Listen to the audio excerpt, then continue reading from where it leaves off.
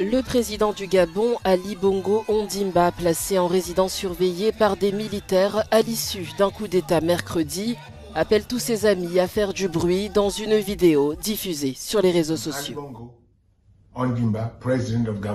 Je suis Ali Bongo Ondimba, président du Gabon, et j'envoie un message à tous les amis que nous avons partout dans le monde pour leur dire de faire du bruit, de faire du bruit, car les gens ici m'ont arrêté, moi et ma famille.